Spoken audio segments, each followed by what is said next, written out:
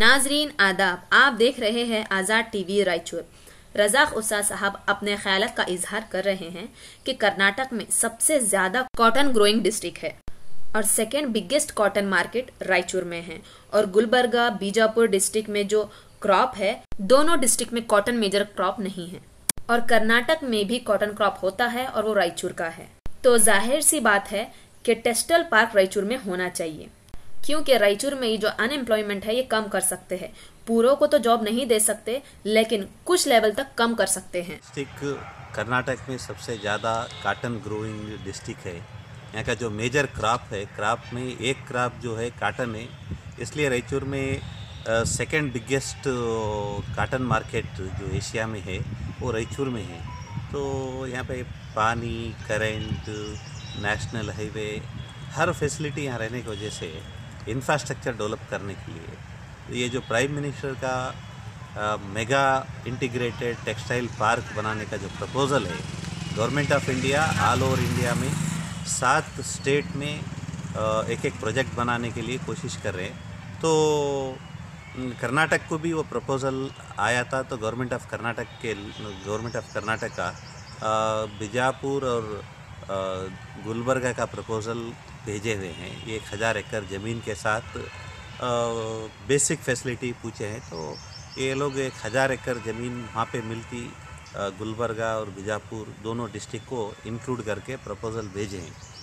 हालाँकि गुलबर्गा और बीजापुर डिस्ट्रिक्ट का जो क्राप है, वहाँ डिस्ट्रिक्ट का मेजर क्राप जो है, वो काटन नहीं है। दोनों डिस्ट्रिक्ट में काटन मेजर क्राप नहीं है। कर्नाटक में सबसे हाईएस्ट जो वो काटन क्रॉपिंग होता है, वो क्राप होता है, वो रायचूर का है। तो ज़ाहिर बात है कि रायचूर में ये टेक्सटाइल पार्क होना चाहिए। और गवर्नमेंट ऑफ़ इंडिया का जो ये नोटिफिकेशन है एक टेक्सटाइल पार्क जो हज़ार एकड़ में बनाया जाता है, उसमें तकरीबन डायरेक्ट एम्प्लॉयमेंट, एक लाख लोगों का एम्प्लॉयमेंट रहता।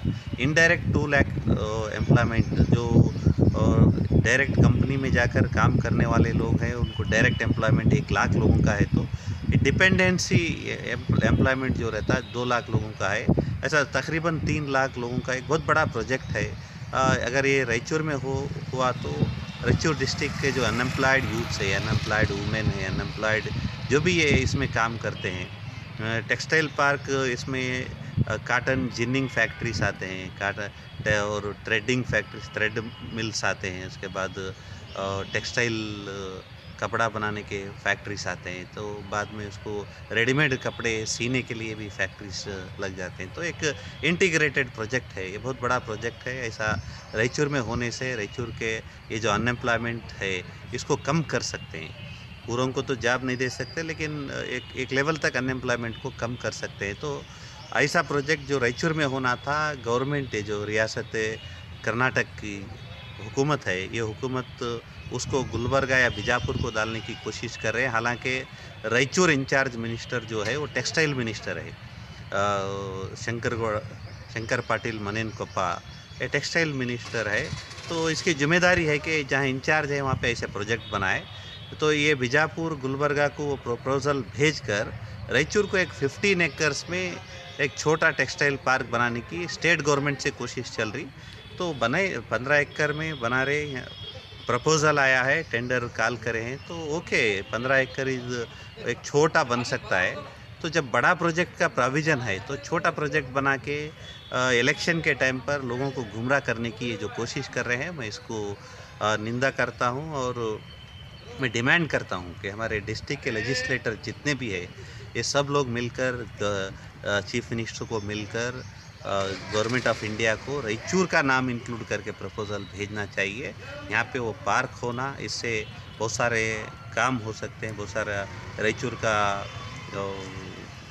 इम्प्रूवमेंट के लिए ये अच्छा प्रोजेक्ट है। तो मैं यही अपील किया हूँ कि आप जो लोगों को गुमराह करने की कोशिश कर रहे हैं, उसको रोक कर रायचूर में थाउज़ेंड एकड़ ज़मीन को और मार्कआउट करो। इसको प्रपोज़ल भेजो क्योंकि यहाँ पे टेक्सटाइल रा मटेरियल जो होना काटन रॉ मटेरियल जो होना वो यहाँ पे मिलता है। डिस्ट्रिक्ट में तकरीबन 114 काटन मिलिंग फैक्ट्रीज है। आसपास में भी आ, काटन फील्ड्स हैं। तो इसके वजह से ये बहुत अच्छा लोकेशन होता है जहाँ हम काटन मिलिंग कर सकते हैं और टेक्सटाइल इंटीग्रेटेड प्रोजेक्ट्स को डेवलप कर सकते हैं।